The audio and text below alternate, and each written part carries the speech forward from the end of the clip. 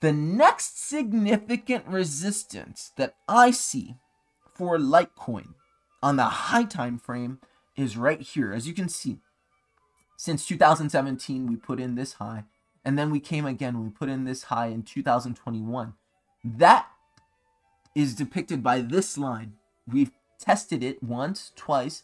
I think we tested again a third time, and that third time is also going to yield a, uh, not a rejection, but a uh, retracement.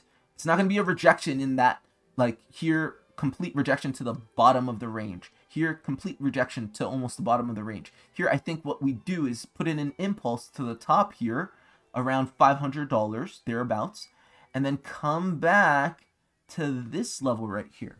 So again, this is why I'm so excited about Litecoin because you're looking to put in a massive move and people are going to be so surprised. We're going to be Litecoin? Why Litecoin? What did Litecoin do? Well, it's all in the charts, my friends. It has nothing to do with any like, you know, partnership or, you know, some whale or anything like that. This is built up, right? This is why I love technical analysis. The cause of the effect that you're looking for, looking to prognosticate upon, you're looking to uh, speculate upon is in the chart. It just needs for you to be able to suss it out and to read it. Okay? So, in this move to the upside, I feel like Litecoin, best case scenario, does a 5x.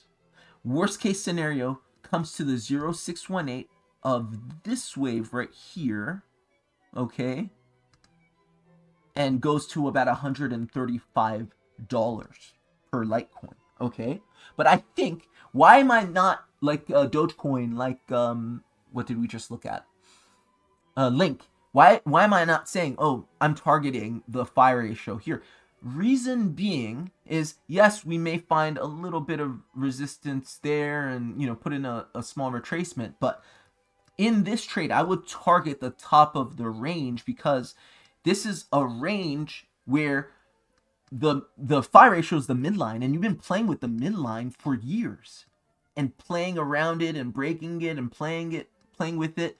So break. It's not the first time you've met the phi ratio. Once you test a level, you're eventually going to break it. This is why I'm not saying, oh, I would trade Litecoin to $134 or whatever the phi ratio is on this chart.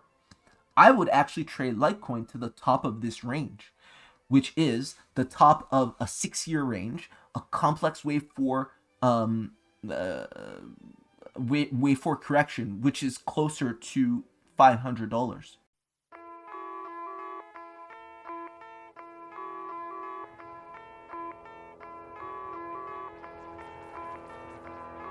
Hello everyone, my name is Dean, let's talk crypto. This is where you subscribe for daily Bitcoin updates and technical analysis. We track the price of Bitcoin as a proxy for the cryptocurrency markets at large. Today is November 8th, 2023. And patience in the cryptocurrency markets is now finally being rewarded, okay? And I'm going to show you exactly why we're seeing that on the charts, all right? Obviously, we're going to look at Bitcoin, and today I'm going to follow up with last video and highlight three um, noteworthy cryptocurrencies, altcoins, right? We're going to look at Dogecoin, we're going to look at Link, Chainlink, and we're look, going to look at the Litecoin chart. If that interests you, then watch until the, until the very end.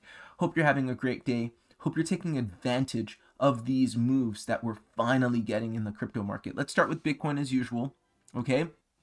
And you know, nothing's really changed so much. We've been in this range, as you can see right here, this up and to the right range, right, which I've called an accumulative range. It's very likely an accumulative range because um, more often than not, these types of ranges break to the upside. You start from the bottom, you um, you chop up into the right, or consolidate or accumulate up into the right, and then you break up. That's what we call a bull flag, okay? So Bitcoin is bull flagging, it's taking its time. That's okay, okay?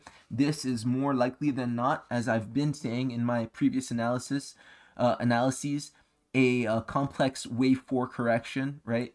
Probably a triple three WXYXZ, okay? And our target remains at the $42,000 level, more specifically on this chart, 42,700. Okay, so nothing's changed with our Bitcoin analysis, right? At the end of the day, whatever you do, do not forget that this 250 day range is very likely to be retested as support because we broke it and it's 250 days, i.e., it's high time frame important resistance. It must be flipped into support before we continue. So if we do move to 42,700, do expect a retracement turning this 250 day resistance as support. Okay, that's Bitcoin. Nothing's changed. Let's move on into our altcoin analysis. Okay, before I go into the altcoins, I want to just point out Bitcoin dominance, a measure of Bitcoin's dominance relative to the rest of the cryptocurrency market, i.e., if Bitcoin dominance is going up, that means Bitcoin is gaining against other assets in crypto, right? Um, and if Bitcoin dominance is going down, the opposite is true. Altcoins or non-Bitcoin cryptocurrency assets are gaining against Bitcoin, as you can see from this chart on the four-hourly time frame, we've been going down in Bitcoin dominance since uh, late uh, October. So, you know, for a few days now, maybe a couple weeks, right? Do you expect this to continue as I've been saying. If we go on the daily time frame, we can see that this is a quintessential swing failure pattern where you try to make a high, try it again, you should swing down if anything, you may expect a little bit of consolidation before breaking down, but the eventual move is a breakdown to complete this swing failure pattern and target the next uh, significant support level, which is around the here. So, in any case, what we're looking at is the general trend in Bitcoin dominance, and the general trend of Bitcoin dominance is going down. This is exactly what we want to see in a true crypto bull run, in a true crypto uh, expansion, and that is what we call an alt season, where altcoins, the smaller market cap assets, are gaining against Bitcoin. They have to because they're smaller in market cap. Some of these market caps are sub one million dollars, whereas Bitcoin is half a uh, a trillion dollar asset, right? Uh, so you're going to have to gain against Bitcoin because it's just a smaller ship, a smaller vessel. It's more nimble. Uh, it's more, uh, yeah, it's more nimble. So anyway, that's Bitcoin dominance. And uh, last but not least, in terms of our indicators, we want to take pay attention to the U.S. dollar currency index. This is what moves everything. This is our liquidity. Uh, remember, I talked about this gap up here. Don't worry, this gap should be filled once our larger pattern right? If you go on the weekly time frame, just uh, have a look really quickly. Our larger pattern, our zigzag, is complete. And then eventually we should fill that. So we don't necessarily have to fill that now. Those gaps do fill. As history proves, the gaps in the US dollar currency index do fill. But it's a question of when will they fill. I don't necessarily believe that this gap that we have up here around the 1067 area is going to fill anytime soon. I may be wrong, but we don't necessarily have to fill it now because this is a larger corrective pattern which should come back upon itself. In any case, uh, what I pointed out last uh, video was the fact that this uh, distribution or consolidation that's breaking down, i.e. distribution uh, range, is indeed breaking down. As we can see here, chop, chop, chop, breakdown, a break of important support, right? This is about a 35 to 40 day support. And what do you see every single time an important level of support or resistance is broken? It has to be retested before continuation. So this is exactly what we see here, okay? A break of important resistance, or sorry, a break of important support, a retest of that important support as resistance, now we can expect the uh, US dollar currency index to continue to the downside as the trend would suggest. Okay, now let's use the remaining amount of time to look at the altcoins that I've mentioned in the beginning of the video. Guys, if you're getting value, please like, share, and subscribe. Would very greatly appreciate it. Okay, what I say, we're going to look at Dogecoin. Let's start with that. Okay, let's start on the daily time frame. Uh, and I am, I haven't really done this, so we're going to do it together. You know, I don't really prepare uh, per se, you know, because I do this every day. This is just something I do. Uh, but look at this chart. What's the first thing that jumps out at you? And obviously, all of these assets have been examined once upon a time, so that's why they're marked up. Uh, so yeah, I'm looking. the The first thing that jumps out at me is this on the daily time frame: Dogecoin against U.S. dollar, uh, or U.S. Uh, dollar uh, tether. So same thing, USDT. I'm seeing this range, and this range to me is a falling range or falling uh falling wedge you would call it right a falling wedge i.e this whole entire bear market was generally going down as you would expect a bear market to do. But in this case we're going down and sideways down and sideways down and sideways. So as i depicted with this blue range this resistance right here is crucial, right? Right about where we're at now, around seven and a half cents. Breaking that to the upside should yield a violent move because that's a very important resistance, okay? How important of a resistance is that? Well, that resistance, this, um, the top resistance of this blue range is almost exactly a year, 363 days, right? 363 days of Dogecoin chopping into this um, this range, okay, and it looks like it's going to prove accumulation, prove to be accumulative, right? Meaning uh, it's going to eventually chop up. Now, what we want to do is identify our next major level of resistance to the upside. So let's say that this does indeed break up, which we think it should, okay?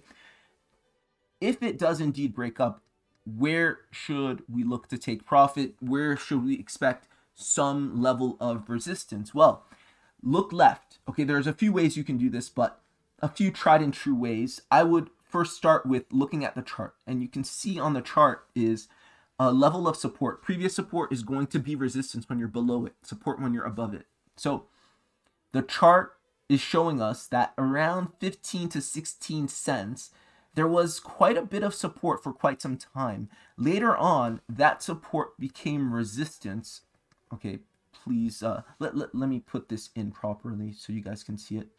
Um here we go.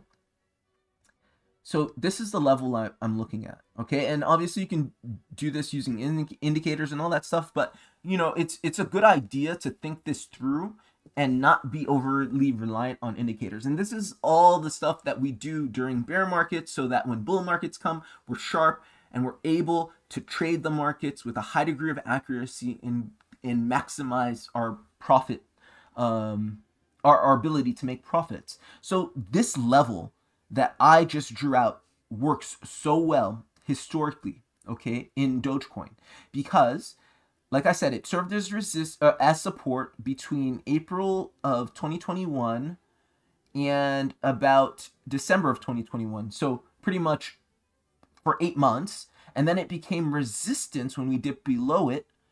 We dipped below it some more, and it was a clear level of resistance on the checkback, on the retracement right here. So I think with a high degree of probability, the next significant resistance for Dogecoin is around that 16 cent mark. And the other way I would do this is using our Fibonacci retracement tool. I would take the top of this move all the way from the top all the way to the bottom. Okay, which is about here-ish.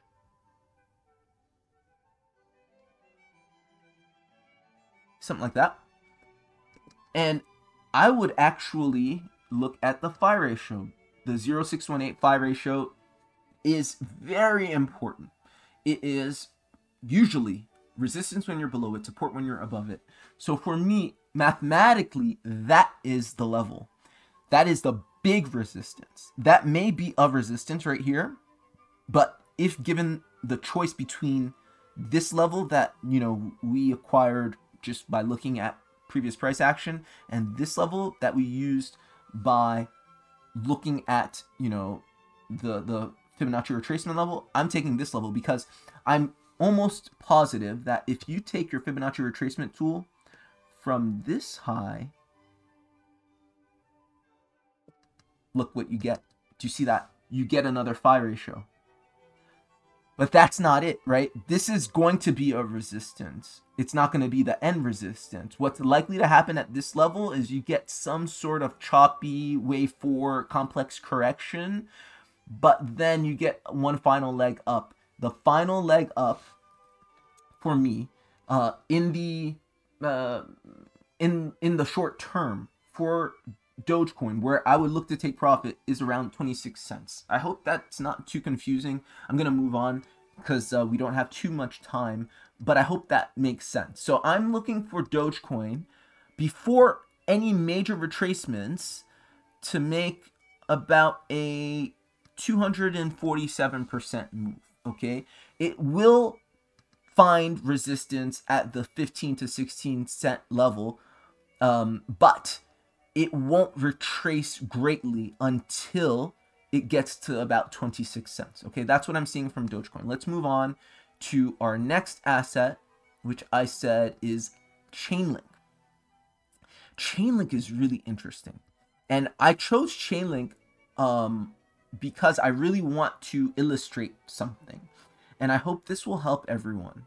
Okay, so I said in the beginning of the video, and the title of this video is likely to be something like um, cryptocurrency investors and traders are finally rewarded, or patience is finally rewarded in cryptocurrencies. Something like that. I haven't figured out the exact wording. But look at Chainlink on the weekly time frame. Okay, so you can see massive amounts of consolidation here.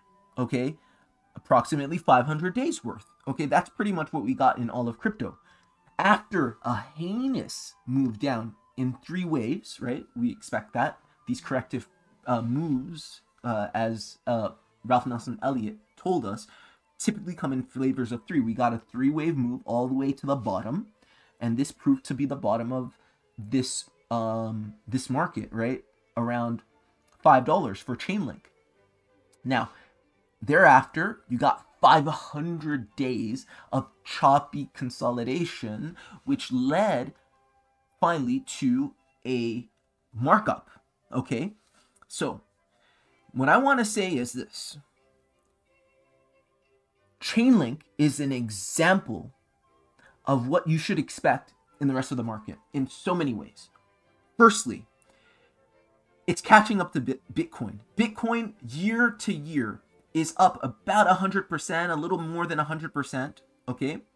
And altcoins uh, recently hadn't moved, if anything, right, in 2023, right? Because, right, remember, 500 days of sideways price action. So you're not getting much of anything, whereas Bitcoin's up almost 100%, if not 100 plus percent. But now, these altcoins are finally catching up. And Chainlink, for instance, in 2023 is already up, last I looked, about 80%, okay? Around 80%. All right, this is a level, or actually more, more, more. About 120%, okay? So altcoins are catching up in terms of gains. That's one. Two, they're catching up in terms of, uh, well, it's really gains that's pretty much it. I, I forgot why I wanted, what else I wanted to say, so I'm just going to leave it. If I forgot it, it's probably not significant. Uh, but altcoins are catching up in terms of gains. That's the first thing I wanted to say. The second thing I wanted to say is be careful about investing too late, especially if you're opening positions that are likely to be threatened with liquidation levels, i.e., um, you know, trading contracts. So Chainlink, if you wanted to determine its next significant resistance, you would do the same thing that we did um, in the previous asset, right? In Dogecoin, you would take the orthodox high of the drop from to the orthodox low, right? From the orthodox high, which is around um, this level of $38, right? So again, one, two, three waves, three, three wave move down and then into a long drawn out consolidation, long drawn out accumulation, which is an, a consolidation that breaks up, right? So now what you want to do is measure the phi ratio, which is likely going to be resistance when you're below it, right? Support when you're above it. We're currently below it. That's around $18.28. What else do we see? We see that historically, this distribution, right, this move occurred over here okay, in this region, not exactly at $18.28, but in this region. Also in this region, on the way up in the previous bull market, you found some resistance. So resistance, support, support.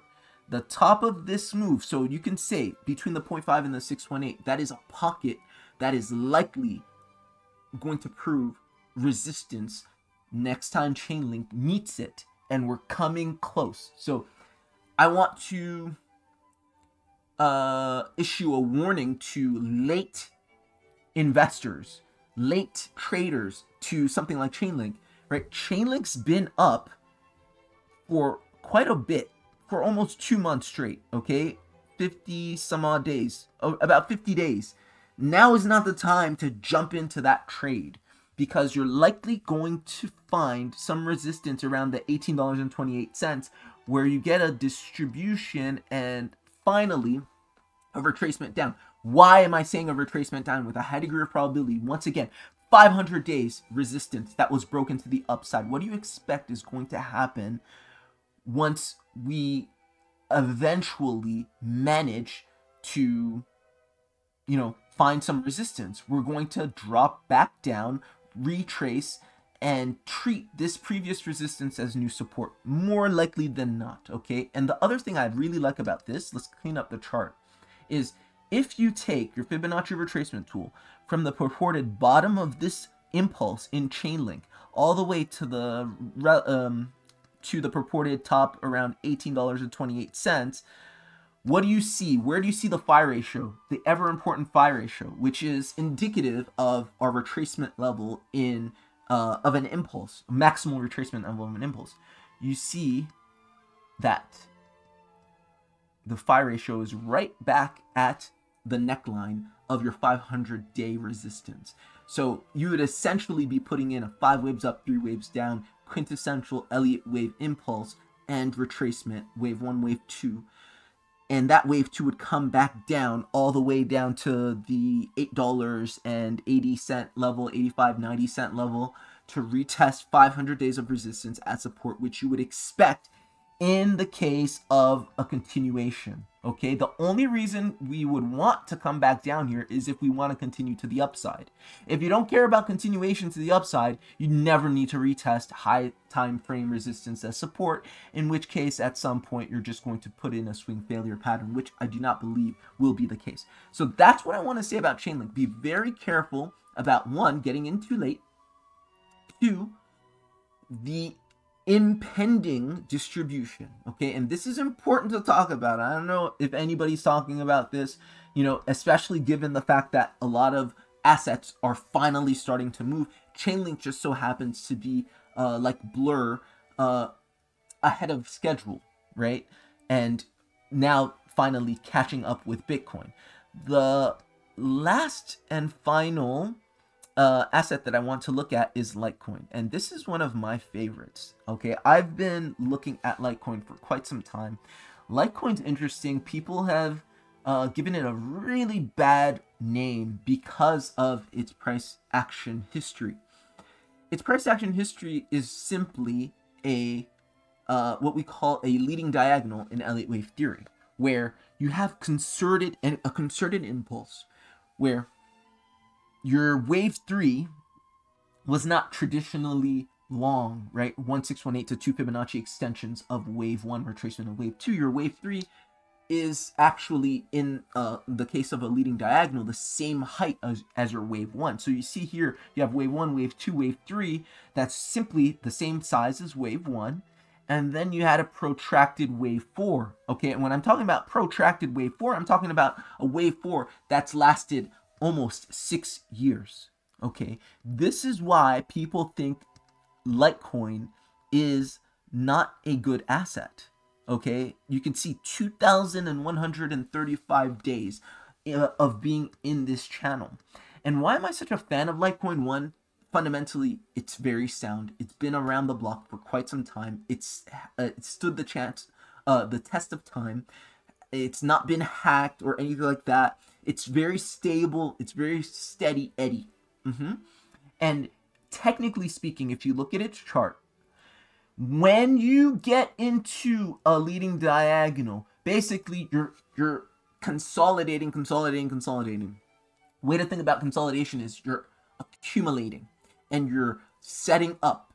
It's like you're storing and storing and storing and storing and storing, and eventually all that consolidation, all that uh, potential energy is going to be expressed kinetically to the upside all right, or to the downside, just depending on what the, the chart looks like. But in this case, it's to the upside. That is going to yield an explosive move. Okay. The next significant resistance that I see for Litecoin on the high time frame is right here. As you can see, since 2017, we put in this high, and then we came again, we put in this high in 2021. That is depicted by this line. We've tested it once, twice. I think we tested again a third time, and that third time is also going to yield a, not a rejection, but a uh, retracement. It's not going to be a rejection in that, like, here, complete rejection to the bottom of the range. Here, complete rejection to almost the bottom of the range. Here, I think what we do is put in an impulse to the top here, around $500, thereabouts, and then come back to this level right here. So again, this is why I'm so excited about Litecoin because you're looking to put in a massive move and people are going to be so surprised. We're going to be Litecoin? Why Litecoin? What did Litecoin do? Well, it's all in the charts, my friends.